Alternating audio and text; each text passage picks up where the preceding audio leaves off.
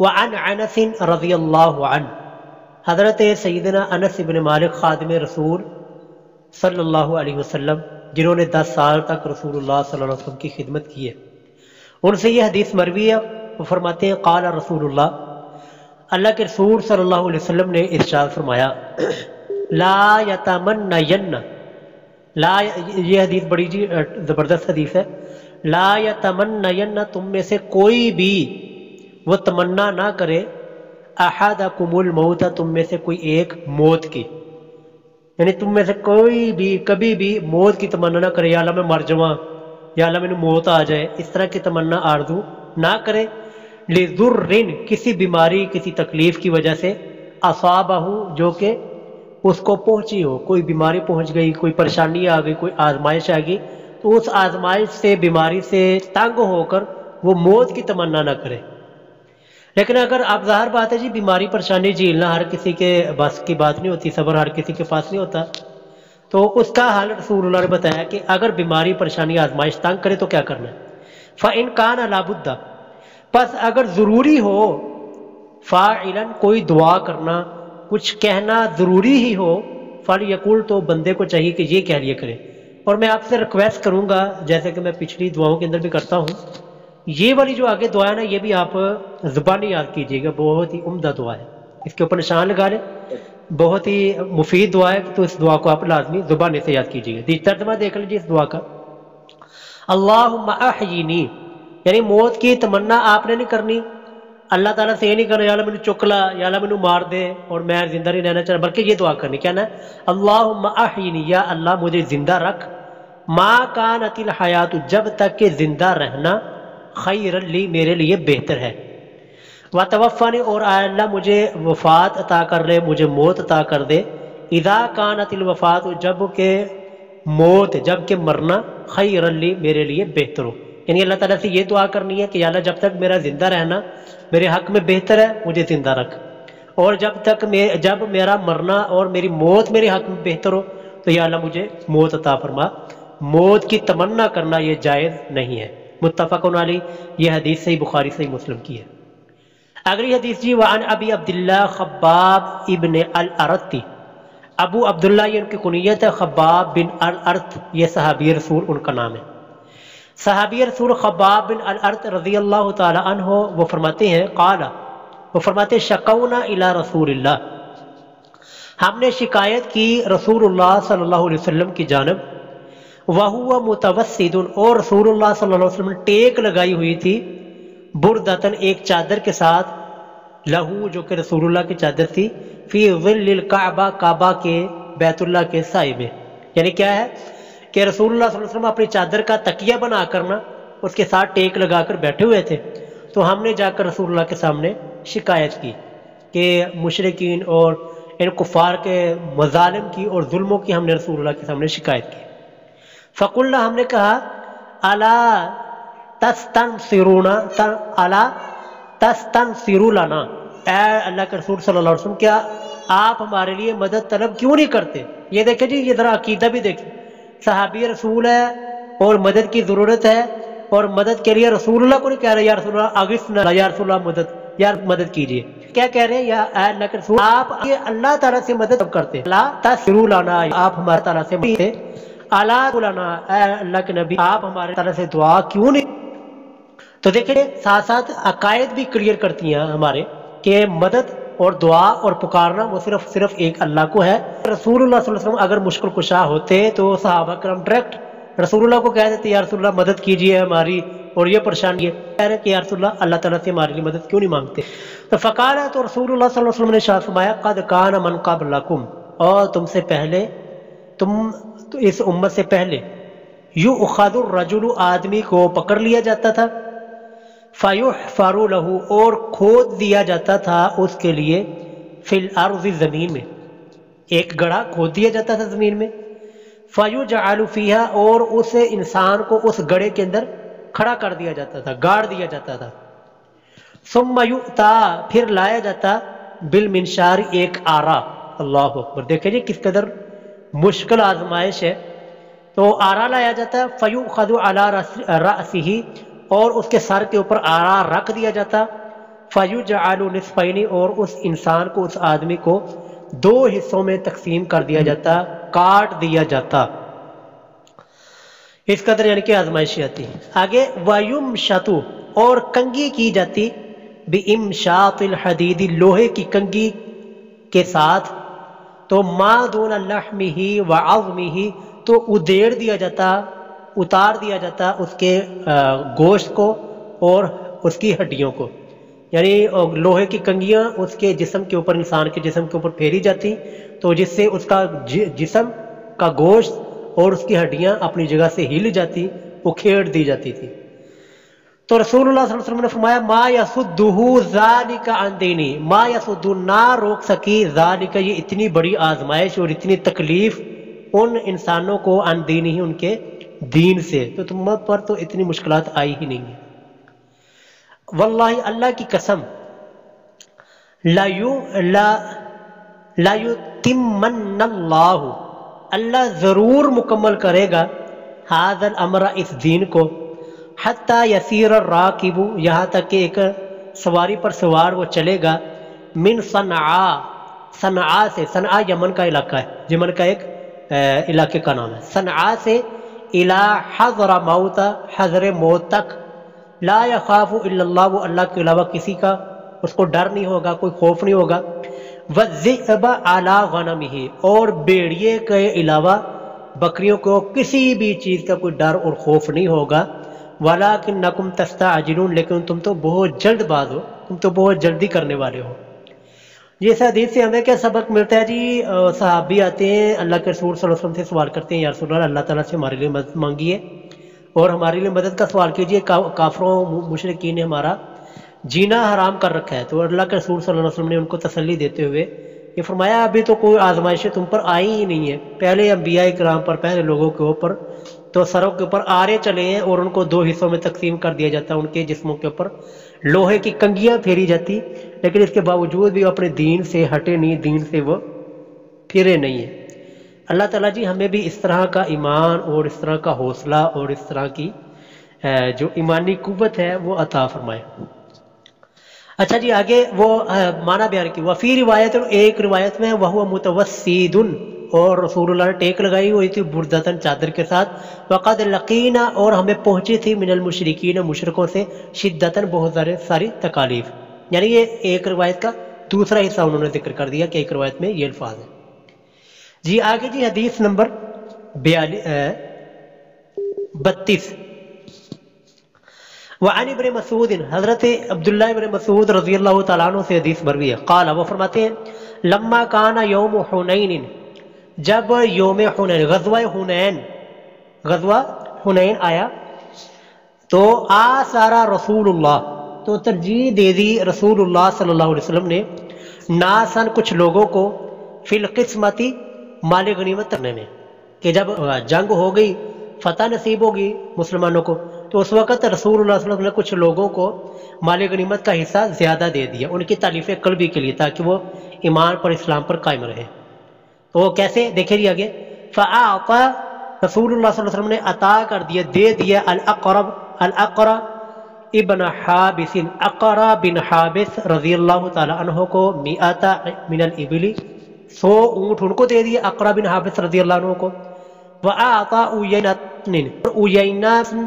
रज़ी अल्लाह मिसला ऊँट यानी क्या, आज के ज़माने के करोड़ों रुपया बनता है। सौ ऊँट। यानी कि एक ऊँट कम अज कम एक लाख रुपए का भी लगाए, कम अज कम एक लाख का भी।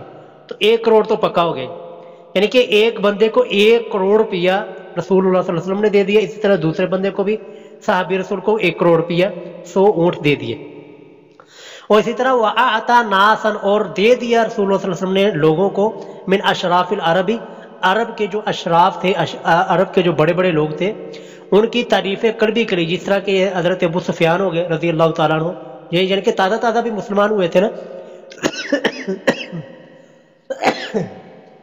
तो इनकी तारीफ़ कलबी के लिए रसूलुल्लाह सल्लल्लाहु अलैहि वसल्लम ने इन लोगों को सूट दे दिए ताकि ये ईमान के ऊपर, इस्लाम के ऊपर पक्के हो जाए। वह आ सारा और रसूलुल्लाह सल्लल्लाहु अलैहि वसल्लम ने इनको तरजीह दी, बढ़ा दिया उस दिन फिल किस्मती माल गनीमत तकसीम करने में कि अपने जो मुखल साहबा कराम थे, उनकी बजाय आपने इनको माल गनीमत ज़्यादा दे दी तो अब क्या हुआ? फ़कार राजुल एक आदमी ने कहा, अब ये आदमी कौन है? ये आदमी मुनाफक किस्म का बंदा था और ये सच्चा पक्का मुसलमान नहीं था जिसने ये बात कही है। आगे देखिए जी। फ़काल रजुल एक आदमी ने कहा इन नहाज ही किस्मत बेशक ये जो तकसीम की गई है माउदिला फ़िया इस तकसीम में अदल और इंसाफ नहीं किया गया। ठीक है? अब देखिए, कोई मुखलस साहबी ये जुमला कह सकता है, बिल्कुल भी, और उसके जेल में भी नहीं आ सकता। ये शारहीन ने और मुफसरीन ने लिखा है कि ये बंदा मुनाफिक किस्म का था, जिसने ये बात कही या रसूल वसल्लम के बारे में। और आगे क्या कहा? वमा उरीदा, और नहीं चाहा गया, नहीं इरादा किया गया, फ़ीहा इस तकसीम में वजहुल्ला अल्लाह की रज़ा को। यानी कि इस तकसीम में अल्लाह ताला को राज़ी नहीं किया गया, और इस तकसीम में इंसाफ नहीं किया गया। फ़कुल तो तो अब्दुल्ला बिन मसूद रदी अल्लाह फरमाते हैं कि मैंने ये बात सुन ली। वल्लाही, और कहने लगे, वल्लाही, अल्लाह की कसम उख बिरन्ना मैं ज़रूर बताऊँगा, ज़रूर खबर दूँगा रसूल अल्लाह रसूल अल्लाह सल्लल्लाहु अलैहि वसल्लम को इस बारे में। यानी कि ये मुनाफिक ने ये जुमला कहा ना रसूल के बारे में। मैं ये रसूल, ज़रूर रसूल को यह जाकर ना बताऊँगा। कहते हैं फ़ातई तो मैं आ गया रसूल के पास, फ़ अखबर तो हूँ बिमा काला। और जो उस बंदे ने जो बात कही थी, मैंने वो रसूल को बता दी कि, या रसूल आपने जो तकसीम की है, इस तकसीम के बारे में फ़लाम बंदे ने ये बात कही है। तो काला तो इबन मसूद रज़ी अल्लाह फरमाते हैं फ़तगैर वजह फ़तगैर बदल गया, वजह रसूल वसल्लम का चेहरा मुबारक। यानी आपके चेहरा मुबारक के ऊपर गुस्से के आसार आ गए। हत्ता का अन्ना का सिर्फ़। ही जो हत्या के रसूलुल्लाह का चेहरा मुबारक इस तरह हो गया जैसे कि सुरख, गहरा सुरख रंग हो। यानी कि जैसे इंसान को गुस्सा आ जाए ना तो इंसान का चेहरा सुरख हो जाता है। इसी तरह हज़रत इब्राहिम मसूद फरमाते जब मैंने रसूलुल्लाह को ये बात बताई कि एक बंदे ने आपके बारे में ये कहा तो रसूलुल्लाह का चेहरा इतना सुरख हो गया, गोया के सुरख, गहरा सुरख रंग हो। सुम्मा काला, फिर अलैहि वसल्लम ने शाह फरमाया फमैया अदिल फमैया आदिल और कौन इंसाफ करेगा कौन अदल करेगा इदालम या अदिल इदालम या अदिल्लाहु व रसूल अगर अल्लाह और उसका रसूल इंसाफ ना करे यानी कि उस बंदे ने कहा था ना कि अल्लाह और उसके रसूल ने इंसाफ नहीं किया तो रसूल ने फरमाया अगर अल्लाह और उसका रसूल इंसाफ नहीं करेगा तो बताओ फिर कौन सा दुनिया में इंसान है कौन सा बंदा है जो कि इंसाफ के साथ काम लेगा फिर रसूल सल्लल्लाहु अलैहि वसल्लम ने इरशाद फरमाया यानी कि इस मामले को रफा दफ़ा कर दिया आपने फरमाया यरहमुल्लाह मूसा अल्लाह ताला हज़रत मूसा पर रहम फरमाए, कद ऊजिया, यकीनन तकलीफ़ दी गई थी, बी अक्सरा मिनहाजा हज़रत मूसा इस्लाम को, इससे भी ज़्यादा। यानी कि ये मेरे बारे में तो सिर्फ़ इन्होंने ये जुमला कहा ना, हज़रत मूसा को इससे भी ज़्यादा लोगों ने तकलीफ़ दी थी। फसाबारा तो उन्होंने सब्र किया। तो फ़कुल तो हज़रत मसूद रज़ी अल्लाह फरमाते, मैंने कहा, ला जारमा बस अब यकीनन ला अरफ़ा मैं नहीं बताऊँगा रसूल वसल्लम को इलई ही आप की तरफ़ बादहा हदीसन, इस मामले के बाद कोई भी बात, यानी कि ऐसी कोई भी बात जो कि रसूल वसल्लम की अजियत पहुँचाने वाली हो रसूल को तकलीफ़ देने वाली हो, आप इस्लाम को परेशान करने वाली हो, आइंदा से मैं रसूल वसल्लम को कोई भी बात ऐसी नहीं बताऊँगा। इससे हमें ये पता चलता है कि जो उस्ताद या कोई हमारा बड़ा वालदेन हो जिससे उनको कोई तकलीफ़ पहुँच सकती हो, उनको गुस्सा आ सकता हो तो ऐसी बात करने से इज्तनाब करना चाहिए। और दूसरा हमें यह सबक मिलता है कि सबसे बड़े आदिल और सबसे ज़्यादा इंसाफ करने वाले वो अल्लाह और उसके रसूल सल्लल्लाहु अलैहि वसल्लम है। आगे ये जो हदीस में लफज गुजरा ना वक़ौलू का सिर्फ़, ये सिर्फ़ का जो लफज गुजरा है, उसका माना यहाँ पर उन्होंने बयान कर दिया वो हुआ भी कसर स्वादी अलमोहमला, ये स्वाद के कसरा के साथ, यानी कि स्वाद के नीचे जेर पड़नी है। का सिर्फ़ ही स्वाद के नीचे जेर पड़नी है, और वाह हुआ और इसका माना सिबुन अहमर, गहरा सुरख रंग है। यानी कि जैसा इंसान को गुस्सा आ जाए तो इंसान के चेहरे के ऊपर खून की गर्दश तेज हो जाती है, और उसका चेहरा सुरख हो जाता है। यही हाल रसूलुल्लाह सल्लल्लाहु अलैहि वसल्लम के साथ हुआ था। ठीक हो गया जी?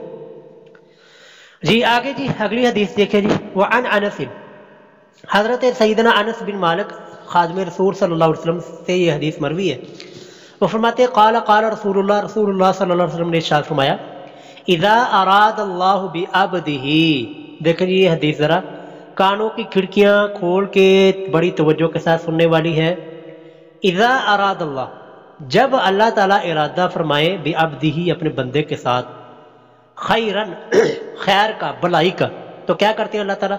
आज जाला लहू तो अल्लाह ताला जल्दी करते हैं उस बंदे के लिए अलअकूबाता फिर दुनिया दुनिया के अंदर ही सज़ा का। यानी कि अल्लाह ताला जब किसी के साथ, कोई किसी को बीमारी आ जाए, कोई परेशानी आ जाए, या कोई तकलीफ़ आ जाए, या कोई आजमाइश आ जाए तो ये इंसान हमेशा अपने जहन में ये ख्याल रखे कि अल्लाह ताला की तरफ़ से ये खैर है, और अल्लाह ताला की तरफ़ से ये आजमाइश है जिससे मेरे गुनाह ख़त्म हो गए, जैसे कि हम पीछे कल जिससे हम पढ़ के हैं। मेरे गुनाह ख़त्म हो रहे हैं, मेरी जो सयात हैं, वो ख़त्म हो रही हैं। और अल्लाह ताला ने मेरे साथ खैर का और भलाई का इरादा फरमाया कि जो मेरे गुनाह हैं, वो दुनिया के अंदर ही मेरी गुनाहों की सज़ा मिल जाएगी और आखिरत में फिर बंदा पाक साफ़ होकर रब के सामने पेश होगा।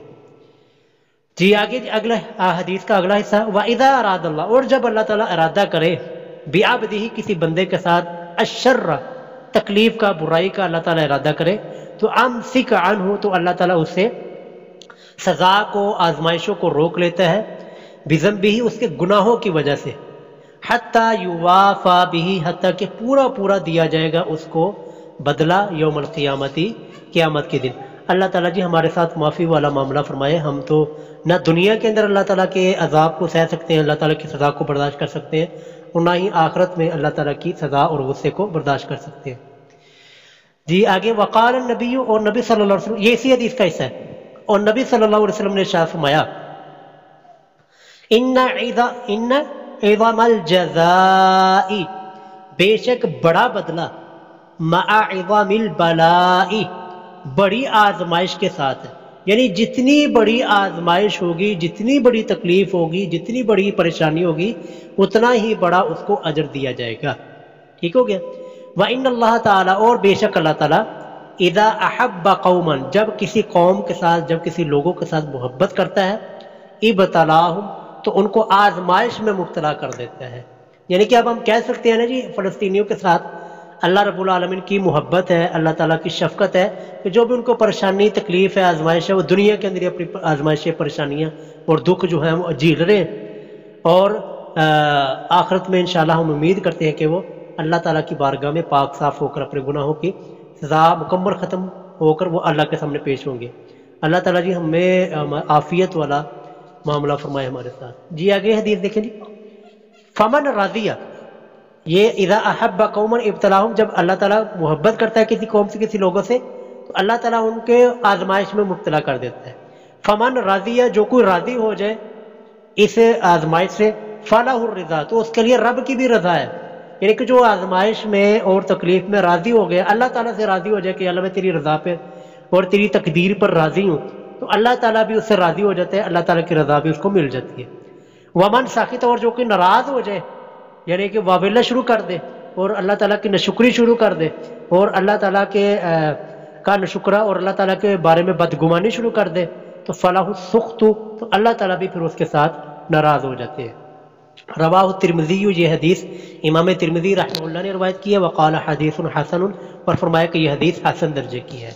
तो आखिरी हदीस से हमें ये बात समझ आती है, जी, सारी जितनी भी हदीसें हमने पढ़ी हैं ना, सबसे पहले तो अल्लाह ताला से आजमाइश से आजमाइश से आजमाइश से तकलीफ़, मुसीबत, परेशानी से पनाह मांगनी है। अल्लाह ताला से आफियत का सवाल करना है, हमेशा, ठीक है? और अगर परेशानी आ जाए, आजमाइश आ जाए तो उसको अल्लाह ताला की तरफ़ से एक गुनाहों का गुनाहों की माफ़ी का ज़रिया समझते हुए उसको सब्र के साथ जीना है और अल्लाह ताला की रज़ा को और अल्लाह ताला की तकदीर पर राज़ी रहना है। जी, अल्लाह ताला दी इसके ऊपर अमल करने की तोफ़ी कता फरमाए जी। आमीन।